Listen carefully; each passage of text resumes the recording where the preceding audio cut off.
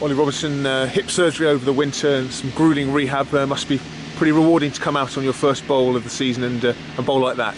Yeah, it's, it's been a tough winter, um, but for the first spell this morning makes it all worth it. Um, body felt quite good, and it was just nice to get out, back out there with the lads. Really, a few nerves running in on um, on that first delivery after you know a bit of a, bit of a tough winter, or, or, did you feel exactly like you, you, usually do? Yeah, I felt pretty normal. Mm after the first sort of over, it felt like I'd not really been away. Um, but no, it's just nice to get back out there and get back into the groove of it. The ball come out nicely today, so pretty happy with it. 10 overs for you today, is that part of a managed return? Yeah, it is, yeah. Um, with the hip, the hip's pretty good. Um, just got a bit of tendon problem in the knee, so just sort of trying to build back up, ready for the Leicester game end of next week. And given we're in March, um, these pitches aren't sort of uh, you know green seamers, are they? They're pretty good wickets, so you yeah. have to you have to bowl well to get wickets on them.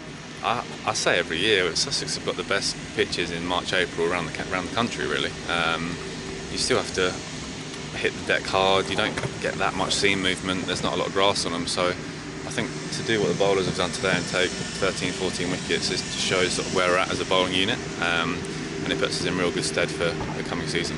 As you just mentioned, wickets shared amongst everyone must really good must be really good for the for the confidence of the of the bowling unit. Yeah, definitely. It's nice to get everyone back. Obviously, CJ's been away, Wiese has been away, Briggs has been with the Lions, so it's nice to get everyone back and everyone's firing, which is really good for us.